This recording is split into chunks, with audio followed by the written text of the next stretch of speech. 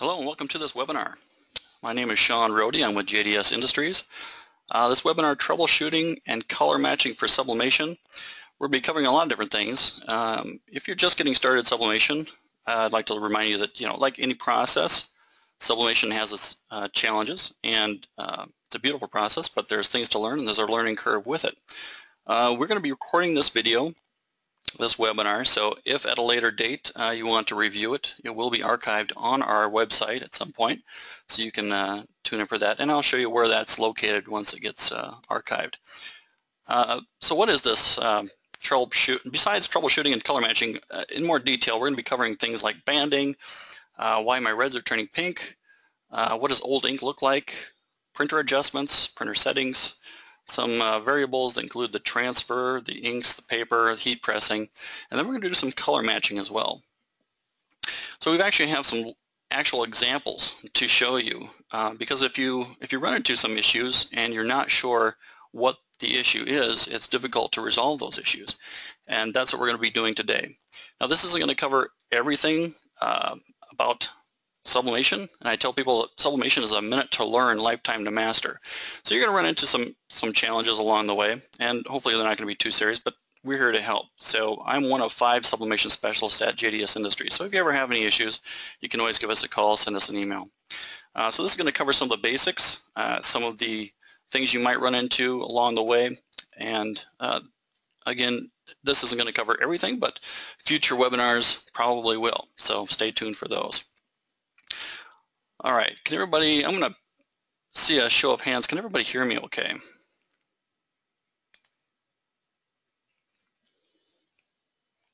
I'm hearing yes. Okay, good.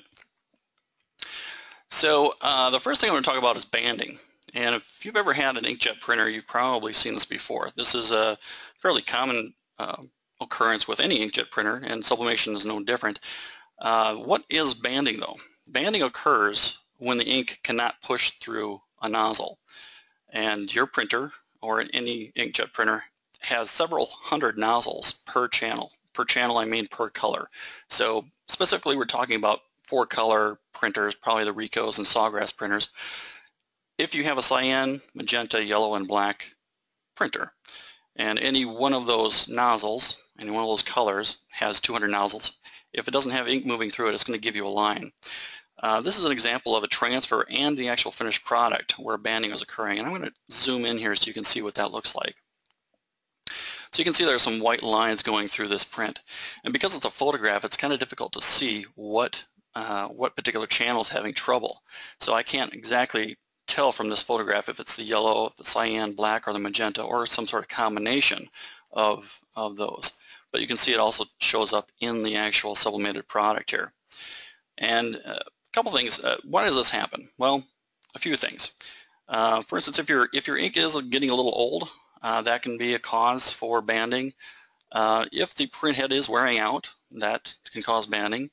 Also, if the ink has been in the printer longer than six months, um, that can cause troubles. Uh, if the printer hasn't been printed on for a long time, that can cause problems as well. So a few rules about sublimation. Then I'm going to show you what I'm going to explain some of the rules about sublimation that we like to, uh, some guidelines that we like to adhere to. But this is a nozzle check. And if you're seeing a good nozzle check, what you're seeing is uh, a pattern, yellow, magenta, black, and cyan. These patterns are going to look identical except for color. Uh, bad nozzle check, and I'll zoom in on what that looks like. You're going to see missing lines, and each, each one of these lines represents a single nozzle. So if you're missing some nozzles in here, you're going to see the white lines. Uh, there are occasions when you will see a good nozzle check and you're still getting uh, some banding or some other issues, and I'll cover that too. Uh, but this is your first line of defense. And the way to access a nozzle check, and by the way, you can use just regular paper for these nozzle checks. You don't have to use sublimation paper. But uh, the way to access that is through your Start button, in through your control panel or your devices and printers. Uh, you can also do this through your printer preferences uh, when you go to print. But located in here, you're going to see uh, your drivers. Uh, in the power driver or in your uh, OEM driver, you're going to have a printing preferences. So you right click on the power driver, go to printing preferences, and you're going to see some options in here. One of them is going to be utilities. Uh, this is a newer uh, power driver, so this has a few more options. Right in here is where you're going to find the nozzle check, the head clean, file spooler, head maintenance, print primaries, full page color test, also ink status. And we're going to talk about more of those as well. But that's where you're going to find your nozzle check and all the other utilities. All right, so in the power driver utilities, and I'm going to show you a view of an older one. This is what this would look like. So you would uh, go through the same process to find this, but it looks a little different in an older version. Here's where the utilities are located, and there's your nozzle check, some head cleaning options. Uh, typically with a normal banding, a head cleaning is uh, the first, uh, first option. So you do a head cleaning, maybe two. Uh, I don't usually, I tell people not to do multiple, multiple head cleanings uh, if you're getting the same result. At that point, um, you may want to give us a call and we can do some other troubleshooting with that. But if you're if you have a good nozzle check and you're still getting banding, one of the option, other options here is the print primary. And what that's going to do is actually print a solid block of a single color on a page. And that's in the older power drivers. It'll put, print this block of magenta or cyan, uh, yellow or black. Now in the newer versions, you can actually print all four in one page. And so it makes it a little easier. And here I've got a graphic representation of what that would look like if you did have some banding in the cyan, let's, let's say. And so that's what you would see these lines going through your print. And so then you can identify which channel you're having trouble with, and then when you go to do your head cleaning, you can choose two of the four channels to clean. So you don't have to clean all four.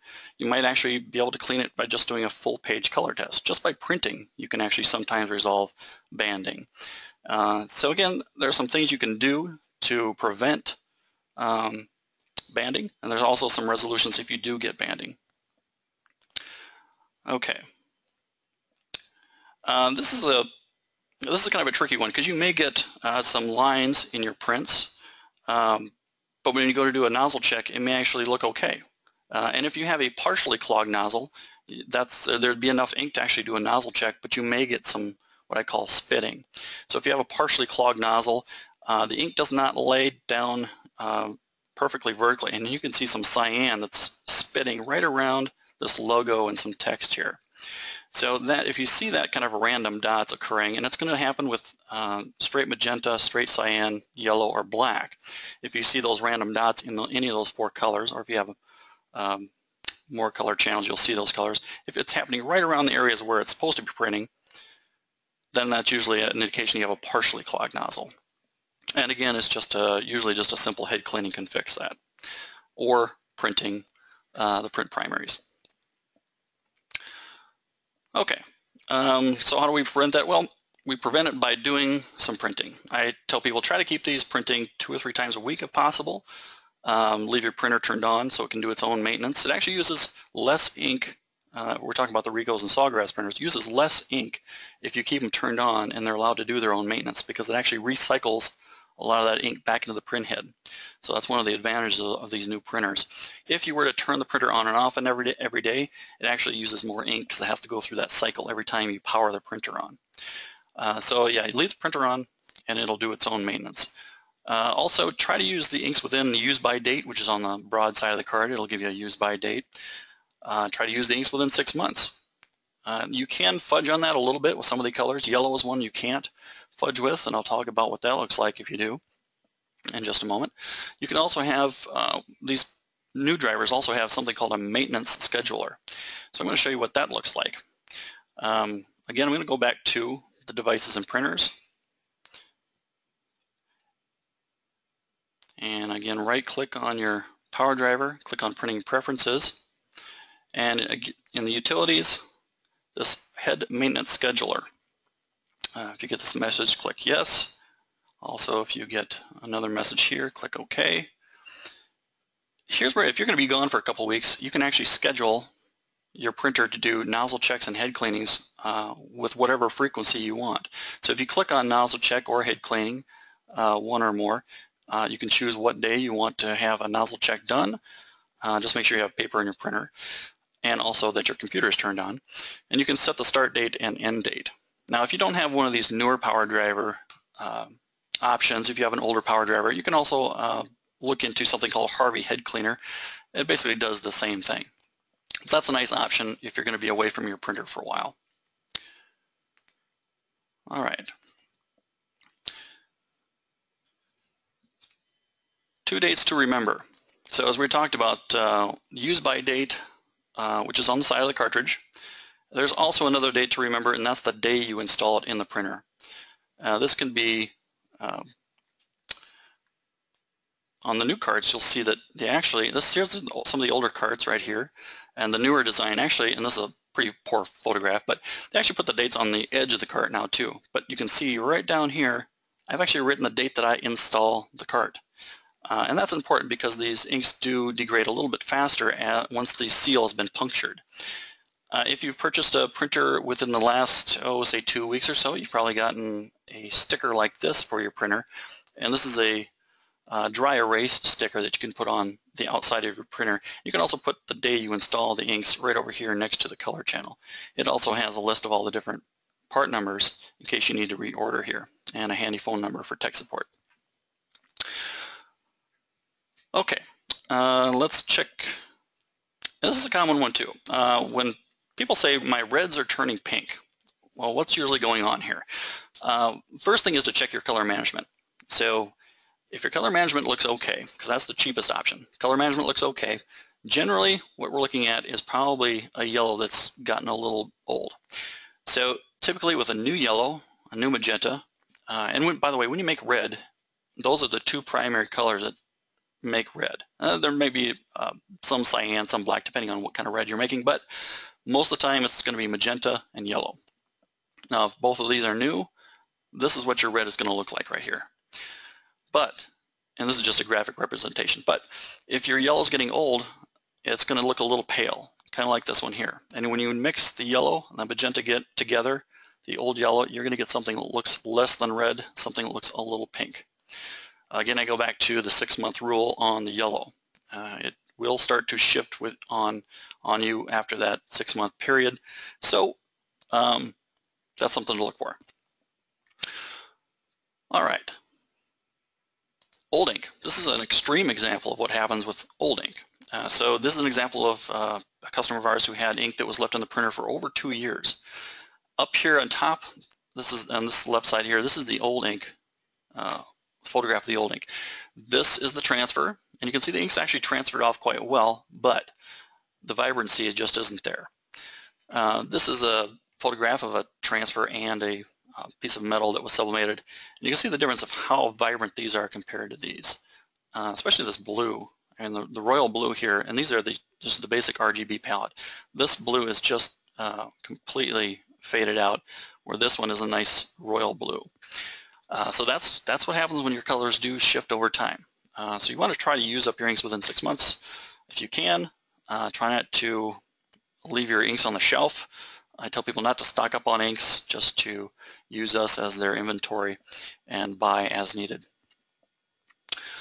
All right. Here's another way to uh, to see if you have a particular channel. If you're not sure when you bought your ink and you're wondering, well, why are my colors off? Uh, if you print some shades of gray, so I, have got this, this band here from black to about 20% black. This is the, the basic RGB palette uh, colors in gray. Uh, the nice thing about gray is it tells you, it's kind of like the canary in the coal mine. When you print grays, it's using all four color channels equally to, to produce gray. If they're not equal, or if, they're, if there's an ink that's not performing like it should, it's going to get a tint. Uh, if you have an old yellow, your grays are going to look, and this is sort of extreme, but your gray grays are going to look a little pinkish, sort of a lavender color. Uh, if your cyan is weak, then it's going to be a little bit of a tannish. If your magenta is weak, it's going to be a little kind of a greenish color. Now, if you have more than one ink that is having trouble, uh, kind of all bets are off. This is probably not the best test. But if it's just one channel and you see these one of these three tints, uh, that's an indication that one of these is getting a little long in the printer. Okay. This is often, this is a paper feed issue, oftentimes mistaken for banding. Um, this is an image over here. Don't worry about this. I actually blurred this. This is a phone number. I didn't want you to see the phone number there, but I'm going to show you what the banding looks like. You're going to see lines through the prints, but this is not a head clog issue. You can see these darker lines in here. This is actually a solid purple, but it has these darker lines. And what's happening is the paper is not matching the print. So the print that's coming out needs to be needs to come out a little bit further. So it needs a paper adjustment. It's actually the ink printing right on top of itself. And when it does that, it makes a darker line. Um, you can see this um, person actually took the photo with his cell phone here. You can see the reflection. But in here, you see the darker lines. And that is, again, an indication that there's a paper feed issue. You cannot fix that by doing head cleanings. So how do we resolve that one? Well, again, you would go into your utility, um, but this one you would actually go into the uh, the Ricoh or the Sawgrass utility. So I'm going to show you where that is. Again, go into your devices and printers, and you're going to look for not the power driver, but say uh, one of these Ricoh drivers here. So if I go into printing preferences or one of the Sawgrass printing preferences, you're going to see the maintenance tab up here and this is where all these options are. You also have some head cleaning options, head flushing options. By the way, head flushing, don't recommend until you are exhausting all other avenues. Call us first before you do head flushing. It uses out more ink than, uh, than what you may need to use. Paper feed adjustment, or the adjust paper feed is right here. All right, so and there's a lot of other utilities in here, but that's where that's located. And I'm going to show you how that works. After you click on the adjust paper feed, then you're going to see a window that pops up that looks like this. Um, and you're going to click next and it's going to say do you want to print this pattern and again you can use regular paper for this and once it prints that pattern then you're going to see a page that prints out on your printer something like this. I'm going to zoom in to show you what this looks like. What we're looking for on here is the straightest line in that pattern and that straightest line should be on zero. You can see that this line is kind of jagged. So this one does need some adjustment. Where the best line is, if you can find out where the best line is, it's actually on this negative 14. So what do we do? Okay, your next option in here is to tell the paper feed adjustment that you need to adjust the value to negative 14 because that's where the best line is. And then you click this little X to print another pattern. And once you do that, then you take a look at that pattern and see if it was adjusted correctly. I'm going to zoom in here to see what this looks like and there's your straight line next to the zero. That's what we want. Okay, so pretty simple. Usually within one or two of these adjustments, you're back in business.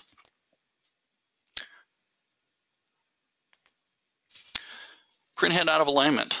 Uh, so what what is this? Okay, so if your print is out of alignment, you're going to see your prints not looking the way they should because there's going to be uh, some areas that are a little askew. Uh, your print mass will look a little fuzzy this often happens if there's a paper jam uh, where the, the paper may have actually moved the print head slightly. Uh, also, if the printer's been jostled around or moved to a different location, sometimes the print head can get out of alignment. I'm going to zoom in real close here to show you what that looks like. And you can see that this on this M, is kind of a bump out. Right here's a little bump in. The O's got the same issue going on right there. I'm going to drag over to this N. You can see this N isn't straight here is pushed out, and it seems like there's there's a couple heads just moving to the left or right where they're not supposed to be. So that's a print head out of alignment. How do we get back to alignment? Uh, similar situation. We're going to go back into that maintenance into the uh, Ricoh driver or the Sawgrass driver, and there you're going to have those options in here to print another test pattern. So here's the adjust print head position, and once you do that, you're going to be asked, do you want to uh, do you want to do this? You click Next. Uh, you're going to do this again. You can use regular paper for this. This doesn't have to be sublimation paper. And after that, you're going to see a little pattern printout, similar to the one you saw earlier, but a little different. But again, we're looking for straight lines, but this time they're going to be vertical lines that we're looking for. And they're all going to be, or should be, under the zero. And I'll zoom in a little bit here so you can see what that looks like. Okay, here you can see straight lines next to the B row underneath the zero. So those are straight. C is straight. However, the A, not so straight.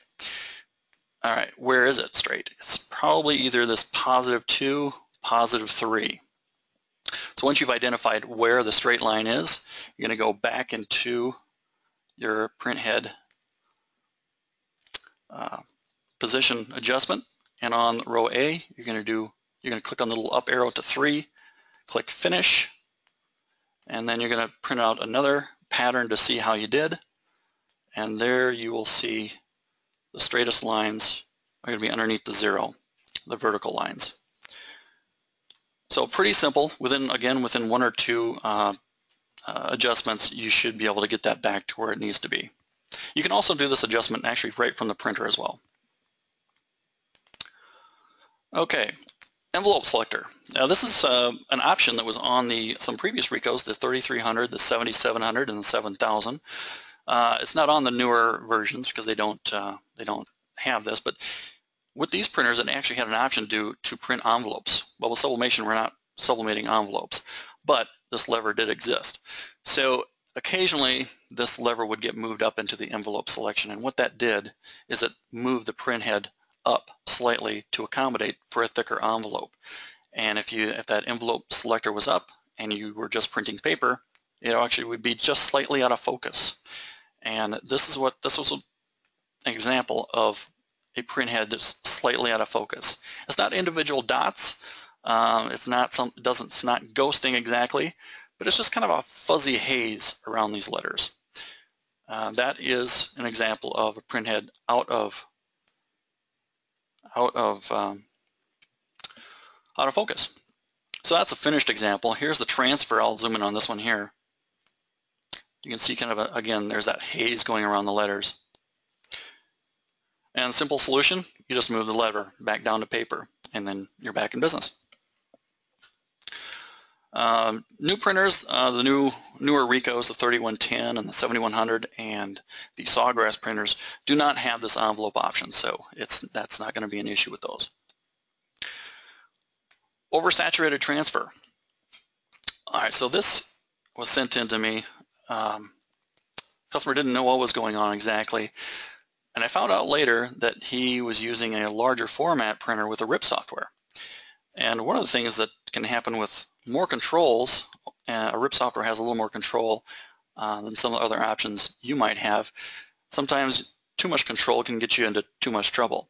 So here's an example of his artwork. He sublimated, sublimated a badge, but you can see there's a lot of ink left over in here. It's kind of this bumpy ink.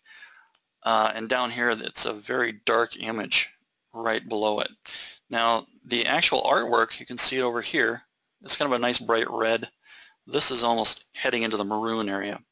So it was just printing way too saturated. And here's uh, another example of, and this actually really tells the story. Here's a black line next to yellow.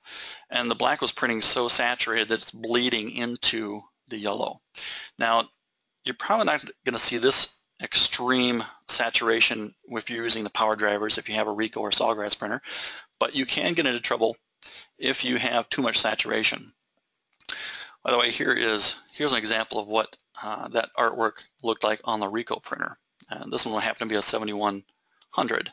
And you can see the ink is transferred off evenly. About 90% of the ink is transferred off evenly. There are no blobs and the color looks fairly accurate uh, compared to the artwork. Uh, so that brings us to the next thing, color settings color settings in the power driver and the newer versions of the power driver. Um, you had a few options with the older one. Uh, so you had, this is where you would go into the preferences, the output, you had realistic, saturated, intense, or grayscale. If you had a photograph, you would typically leave it on realistic. If you're doing graphics, uh, you might want to put it on saturated, it pushes out a little bit more ink. Uh, the intense setting pushes out even more ink, but I think that uh, sometimes this is a little bit too saturated even for uh, some graphics. And then there's a grayscale option which you could have used if you wanted to take your color image and make it just permanently grayscale through the output. Not on the actual file, but on the output. On the newer versions, on the newer printers, uh, you have a few more options, a few different options. The realistic has been replaced with a photo, so uh, similar look. It's uh, if you have a photograph, you can use the photo setting. Graphics, you use graphics. Uh, they changed. The only thing that changed here was the how they spelled the grayscale. They added an E instead of an A. Uh, just an observation there, not sure why. But anyway, then over here you have a lot of these color adjustments that I typically do not use. Um, and I generally don't recommend using them unless you're really uh, fairly advanced. If you're just getting started, I would go ahead and not mess with this here. Uh, I usually typically do all my color adjustments in my software. Um, that's where you know I can make things more saturated or less saturated. Uh, if you want to play around with this and you get good at it, uh, this is actually a great tool to use. But if you're just getting started, this might be a little more advanced and uh, might just actually be more confusing than uh, what you need.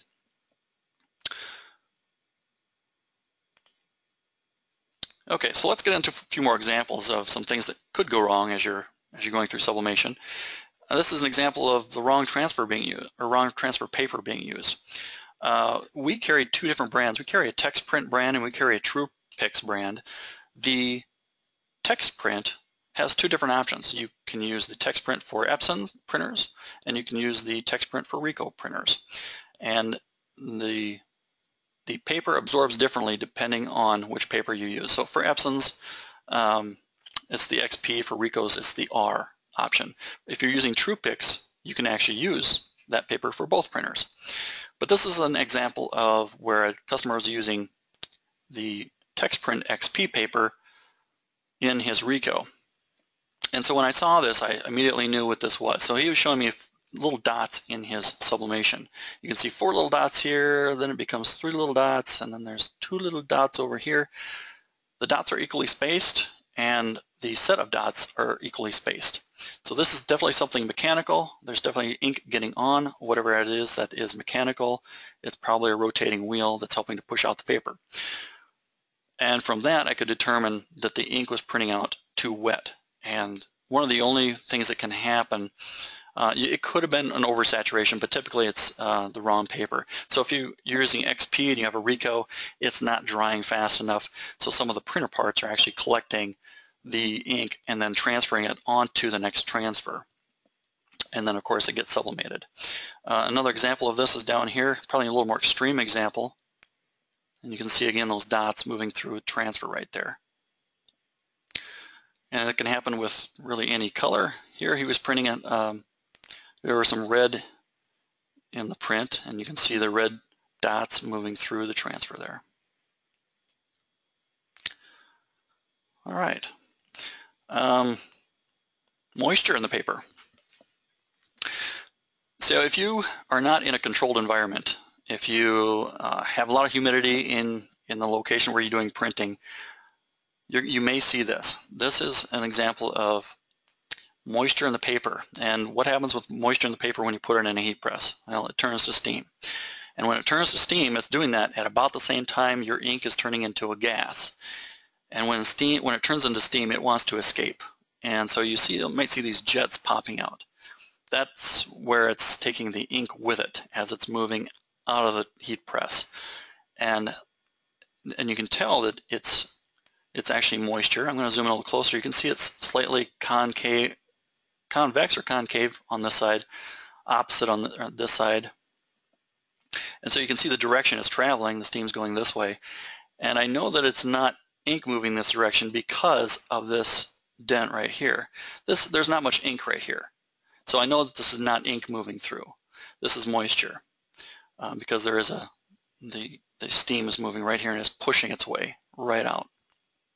So if you see, see these little jets, that's an indication of moisture in the paper. How do we prevent this? Well, um, you want to keep your paper in a Ziploc bag if you're not in a controlled environment. Uh, so your paper does whatever your environment does.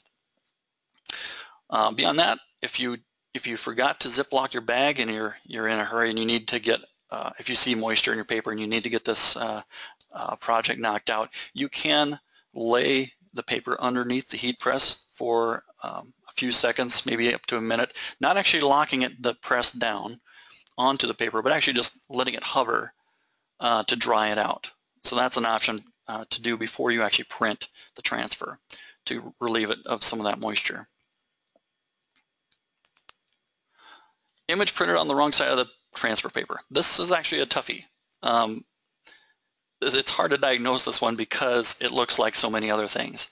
Here's the trans finished transfer up here. You can see there's a lot of ink left on the transfer. And then we've got all these little wavy lines going through the print uh, or through the product. And at first glance, this looks maybe like it didn't have enough dwell time or there might have been wrinkles in the transfer. Uh, maybe it uh, yeah, maybe it wasn't making the best contact. It's, it's difficult to say because it mimics other things. And that's why this one's hard to diagnose. But an easy one to fix once you figure it out. So with most transfer paper, you have a bright white side and you have an eggshell side. The bright white side is the side that you're going to be printing on. Some paper it's a little easier because there's actually a logo printed on the back of the paper. And with the Ricohs and the Sawgrass printers and with I believe the also the desktop Epsons, you're going to be putting that paper in face down. So the printed side is going to be face down on the tray. So maybe not the easiest to diagnose sometimes, but an easy one to fix. Okay, here's an example of a color button turned on when using gradients. So this artwork up here, a nice artwork, it's going, it's got a gradient that's going from white to black or a darker color here. So there's a lot of color changing going through here. And in the PowerDriver, you have an option to turn the ColorSure button on.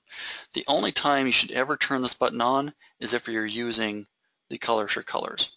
I typically use just the RGB palette um, because uh, it likes to be in RGB mode. Uh, it's a pretty large palette. It's got, uh, you know, just in the workspace alone, it's got 100 colors, but there's literally thousands of colors to choose from.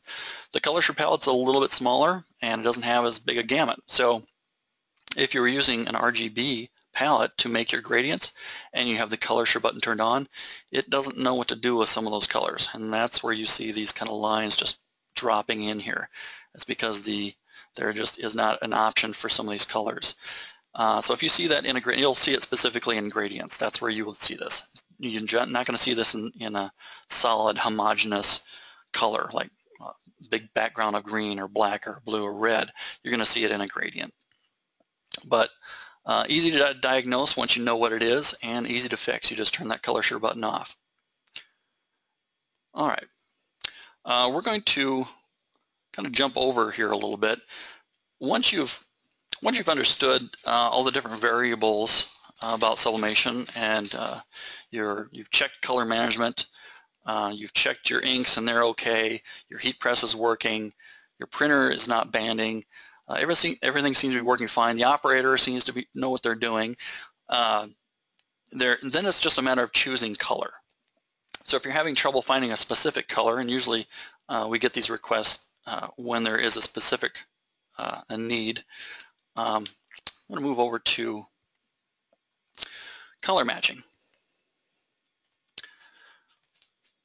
So let's say you have, and by the way, if you're using Illustrator or Photoshop, uh, the technique that we're going to show you in this is, doesn't exist in Illustrator or Photoshop, but it is still relevant because the files that we create can still be used in those programs. Uh, and just a quick uh, lesson. If you're using, if you're doing sublimation or any professional process, you want to have pro professional software. So I use Corel Draw primarily, uh, Photoshop quite a bit, Photo Paint, um, uh, Illustrator occasionally, but I tell people to try to use professional software. And it doesn't really matter if you are using Corel Draw, Illustrator, or Photoshop, but as long as you're using one of those three, that's going to give you the best color. It's going to give you the most options uh, and use the program that you're most comfortable with. Uh, there isn't a program that's really better than another. Um, outside of this little example I'm going to show you, that there, there are a lot of similarities with these programs. So use the one you're most comfortable with. Uh, in this case, we're going to be using CorelDRAW, but the files that we create can be used in any program. So we're going to be talking about the blend tool, and we're going to be talking about the creating palettes, and using macros and the eyedropper. All right, so what are color palettes? Well, here's an example of some color palettes that have that I've created. Uh, here's an example of the default RGB uh, palette, and here's some other random palettes that I use with the RGB palette. Now, one of the things about sublimation that can be challenging um, is that every substrate's a little different, and the ink which is really not an ink, it's a dye, is semi-translucent. So if you're printing colors on a piece of white aluminum and then you go to print on a white t-shirt or a yellow t-shirt, your results are going to be different because what you're doing is blending the color, the dye that you add with the substrate and the blending of those two colors is what you see.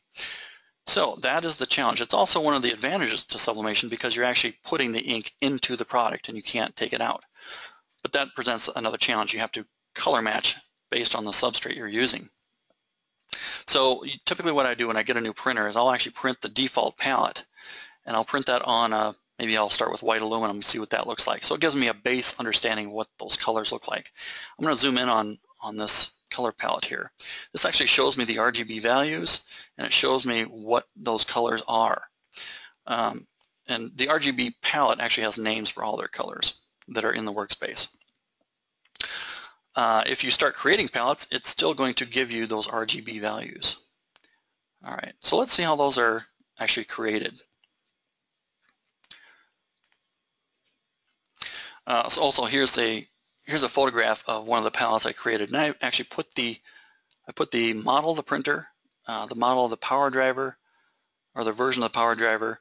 I put on the photo settings as the settings that were used, the paper I used, and the material. So that gives me uh, a base understanding of what what I'm using here um, and how it was how it was used.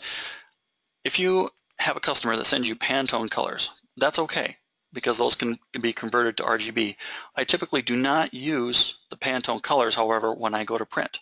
It's a nice reference tool because it, then you know what the color should look like or what you're trying to achieve.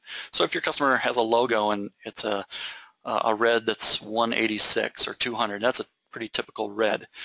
You can use that as a reference, but you're going to use your RGB palettes that you create to match to that Pantone color. All right, so in CorelDRAW, a few steps to doing this. Uh, here I've put down just a little block of color, uh, red, and I'm going to use uh, deep purple between these two colors, this is where I find a lot of the good reds that I use quite frequently. So in your CorelDRAW, you've got an option. Usually it's uh, in your toolbar, somewhere located down below your text uh, text option here. It's in here. It's in this little flyout where the drop shadow is. Here's your blend tool. Okay, and this is what it looks like, uh, just blown up. This is your blend tool right here. So with your blend tool option selected, you're going to click on one color and migrate it to the next. So you just click and drag and drop. By default, uh, I've got mine set up to be 20 steps, but if I'm going to make a color palette, and if my default page is 8.5 by 11, then I'm going to actually change this to 60, and I'll show you why in just a moment. Okay, so now it's migrating from red to deep purple in 60 different steps. The next step is to break them apart which is Control K, and then ungroup. Okay, so now each, it's got 60 different color options that you can pull out. Now once you've ungrouped all these, you've broken them apart, you're going to select them, and you're going to go up to Window, Color Palettes, create palette from selection. And I've got this set up, uh, usually it defaults into a folder called My Palettes, which is located, uh, it might be under your username, under Documents, My Palettes, okay? So we're gonna name this red to deep purple, purple. And you can see I've got quite a few in here. Click Save. And now we're going to use uh, what's called a macro. And a macro is really just a set of instructions. And one of the macros that uh, CorelDRAW has is the Create Color Swatch option. So in Tools, you're going to go to Macros and Run Macro. Now in earlier versions, I believe X4 and previous, uh, you would go to Macros and click Play. But from there, it was the same steps. So we're going to run macro. You're going to see a little window pop up here. And the macro options we're going to be in are the global macros. And this one up here is called Create Color Swatch. That's the one we want. Click Run. And sometimes it'll give you uh, the option right away in this window right up here. But if not, you may have to go find it. So here's some things that I've done previously. Uh, if you have to go find it, you just go to Open if it doesn't populate here, you go to open and you're going to go into your libraries, your documents, my palettes. Now the screen is empty, but if it is empty, go down to this little window here, click all files. Okay, so here's all the files that we've created. Uh, the one we are doing is called red to deep purple. So we select it, click open, and I'm going to change the spacing down here to five. We're going to push these a little closer together so we can get more on a page. Click OK. Now what CorelDRAW does is it creates uh, an actual file that you can use to print and sublimate and the red to deep purple option uh, has been expanded through that through that gamut. Here's generally where I find the best reds, right in here. So this is a lot of times where I go to pick my reds. So, and it also has the RGB values right here. So once you've done that, once you've created your palette, you want to save that palette and put it somewhere where you can find it again. Uh, but the cool thing is once you create this palette, then it's easy to, to change colors on your artwork. So here I've got a logo off to the right here. And let's say I want to use some of these colors. I've actually sublimated this palette and I say I, I really like you know, this particular color right here. In CorelDRAW, you just grab your eyedropper tool, select or click on the color that you're looking for, and then you can go ahead and start changing the color of your graphics uh, fairly easily. Uh, in the older versions, you would actually have to click the eyedropper and then go back and click the paint bucket. Uh, but since X5, it actually automatically turns into a paint bucket. So that is the way you would change colors fairly easily uh, with your graphics. So again, once you have all of your options, all the variables taken care of, the heat press is working, the ink is working, uh, and it's new, and your printer is working, and all your color management looks okay. Uh, and again, if you're unsure about any of those things, always give us a call because we can take a look at those for you. Once those are all okay, then it's just a matter of, of picking color. And what you see on your screen is not always what you're going to see as a result in sublimation because your monitors are making color with light. And it has a much bigger option with um, with color. So let's say for instance you see this little house here. It's like a lime green. I cannot print that. I cannot I cannot sublimate that color the way it looks on my screen because it's it's almost a neon green almost a um, it, it almost looks like it's almost backlit. It's so bright. Uh, there are some colors that you, you see on your screen that you cannot sublimate uh, and vice versa. You know, there are some, let's say, Pantone colors. Uh, I can get a lot of colors in, in sublimation that I can't find in the Pantone and vice versa. So the only true way to know what these colors are going to look like is if you actually sublimate it onto a particular product. And you may not have to sublimate them on every single thing that you do, but you want to get a, a range of products uh, sublimated. So you have a, at least a baseline understanding what the colors look like. Uh, I usually tell people start with that basic RGB palette and work from there. Uh, so that is how we do that. Now, if you're using Illustrator and Photoshop, we've actually got these files saved as EPS files too, so you can open them and use them in Illustrator and Photoshop. However, at this point, I don't believe Illustrator and Photoshop have this ability to create color palettes, but you can certainly use them. And that kind of brings me to my next uh, couple things I want to talk about. This this example of using the blend tool to create color palettes is, uh, is its own YouTube video. And we have a YouTube channel. That's youtube.com slash user slash JDS Industries. So you can go there and actually find this, uh, this exact thing that we just did with CorelDRAW. Um, also, if you're looking for resources about where to find uh, more of these color palettes, um, here's an example of what, after you log in, where these are located. So once you log in, you're going to see a resource option and a Dropbox for some of these resources. Uh, let's go ahead and see this, what this looks like live. Um, so here's the resources tab. If you click on that, this is what opens up here. This is the Dropbox Download Center. You click into here, and you're going to see sublimation information as well as a lot of different other things you can find. But in the sublimation information, we click in there, and you're going to see the RGB custom color palettes. There's also some tutorials, user guides, uh, some other useful information. Click into here and you're going to see uh, all the ones we've created thus far. Now you're going to see a lot of these are Corel Draw files, but again, if you need an EPS file and you can't find what you're looking for, if you need to download one, uh, let us know what you're looking for and we can send those to you, um, either by email or, uh, well, email primarily. All right, we've got a few minutes here. Uh, I'd like to take some questions. I know we've covered a lot of things in here, but I'd like to take a few questions. If you if you have something, I'd like you to shoot it at me. Um, this might go just a little bit over an hour. I want to go back to my Corel Draw for a moment.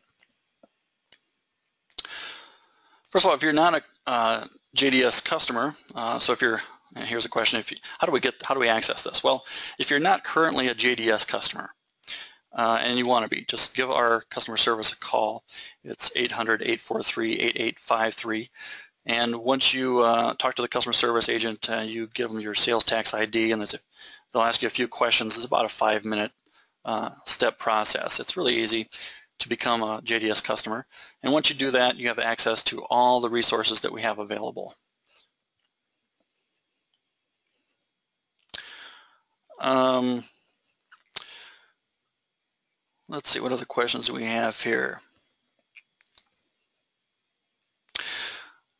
Ink collectors. Uh, yeah, ink collectors, that's a good one. So occasionally we, your ink collector, what's, what's nice about the Ricoh printers and the Sawgrass printers is they have an ink collector. Now some inkjet printers do not, they have this, but it's not replaceable. So on some inkjet printers, if it fills up, your printer might give you a message that says components on your printer have reached their life expectancy, time to change the printer. Uh, with these Ricohs and the Sawgrass, you know, if you're printing on them pretty regularly, you may get anywhere from three to five years, hopefully.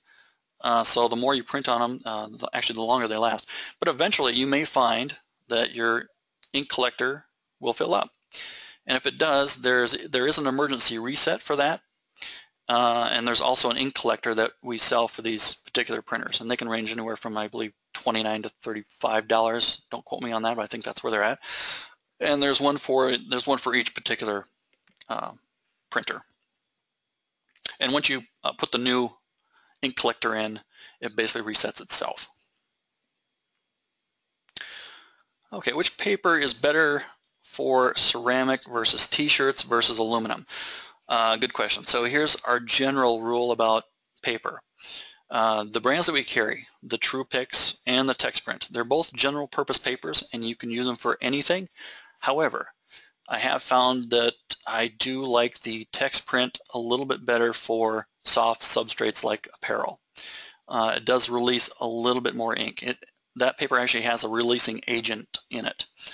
Uh, the Truepix, I like that paper when I do hard substrates because it lays down the ink a little bit more evenly, especially with the aluminum. Uh, and the reason for that is that uh, aluminum heats up very quickly, so the sublimation happens very quickly.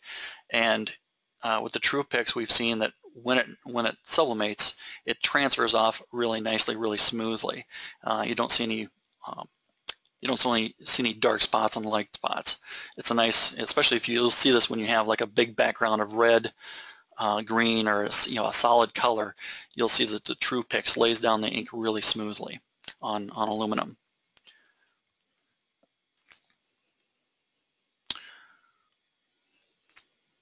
Okay, what other questions do we have here? Having trouble getting a rich black on my sublimation acrylic. Uh, is there a trick to it? The sublimation acrylics uh, do require more dwell time. Um, are the things I may have brushed over? I think we have a little time to go back here. Um, I'm going to move back just a little bit.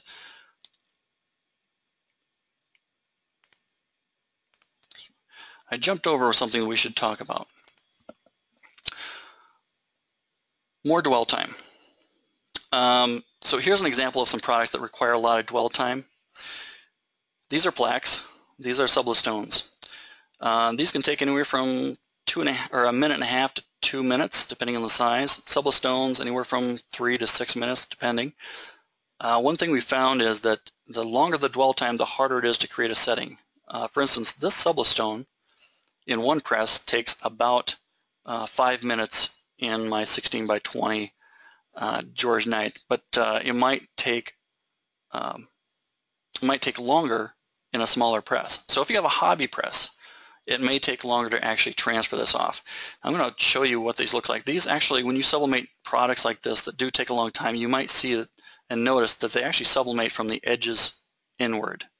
So this center area did not get complete, and you can see this by a lot of ink on the transfer up here. So if you've got a lot of ink left on the transfer and you've got light spots on the product, that means you need more dwell time. So if you're having trouble like this, always keep your transfer and and you can send me a picture and I can give you at least a guideline on how much further you should go with the dwell time. Uh, same thing down here with the sub, stones. Here is uh, a lot of ink left here, not much going on here. So it would need at least another minute in the heat press. Um, let me show you what too much dwell time looks like. And here again, it's a, it's a stone. And look what's going on here. We got paper sticking to the product.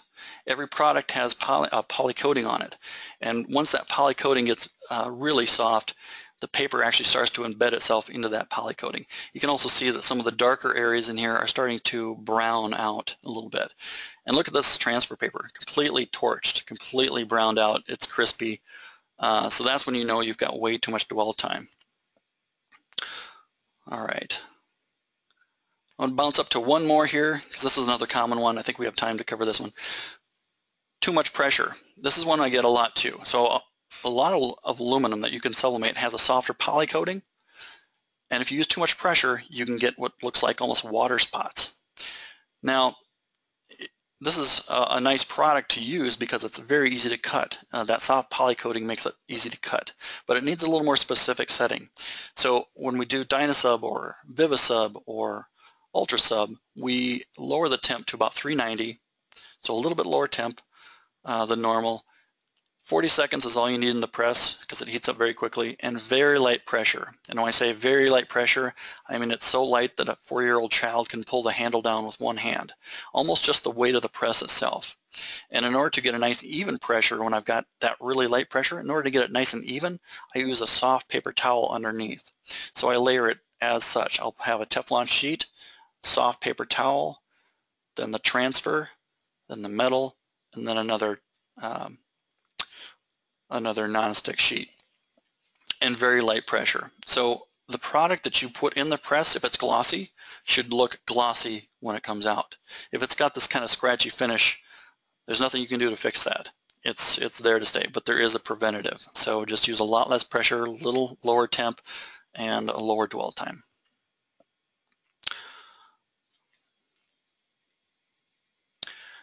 All right. Let's take a look at some of these more, some of these other questions here.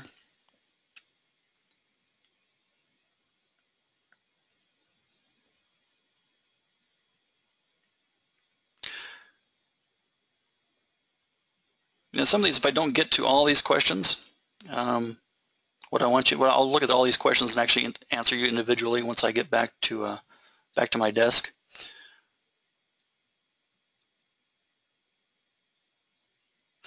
Okay, here's a good question. Uh, swing away versus clamshell.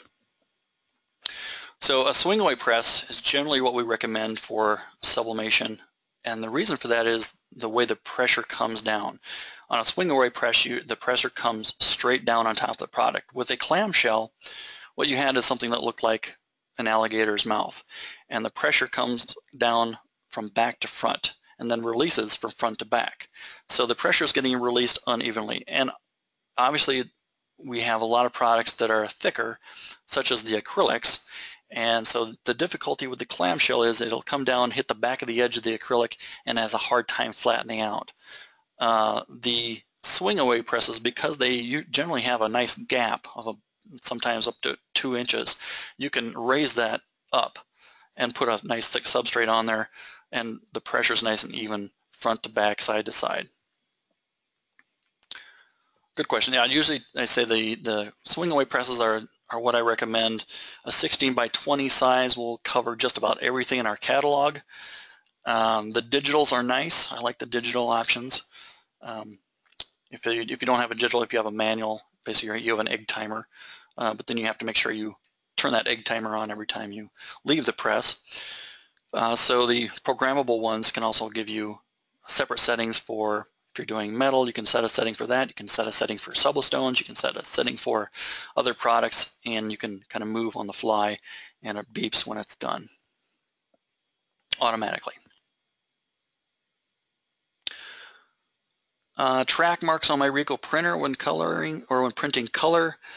Uh, yeah, I, we did cover that a little earlier. Um, that is probably uh, more than likely it's the wrong paper. If you're using uh, TexPrint XP through your Ricoh, again, it's gonna it's gonna print a little wet and leave ink on the rollers. So if you see these little roller dots, that's what that is. Any tricks to sublimating substrates larger than the press? Uh, that is that is difficult. Uh, whenever you have uh, to hit something twice, sublimate something twice, uh, it's almost impossible to not see where you started and stopped. So there's always going to be a line, uh, especially if you're putting transfers together and you're kind of moving the product across the press, hitting it moving it. Uh, it's very difficult to do. I would I would say save yourself some headache and find someone that does wholesale work with a large press. Is there a form with all the heat press settings and temps? Uh, there used to be. And what we found is that because it changed so often, people clung on to these forms uh, like they're the Bible. And, and, unfortunately, products do change over time, and, and, then it can cause problems. So the best place to go is to uh, the resources online. Again, it's, it's on this resources tool, and I'm going to show you uh, where to find some of these. So let's say I type in uh, a beverage insulator Once I type that in, you're going to see the product right here. Uh, if you click on the how-to, it should populate with all the instructions needed right here.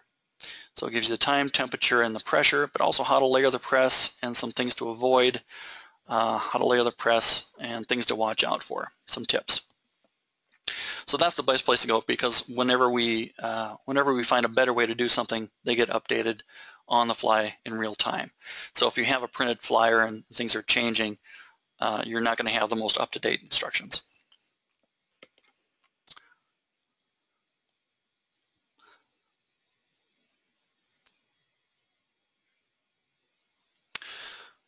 All right.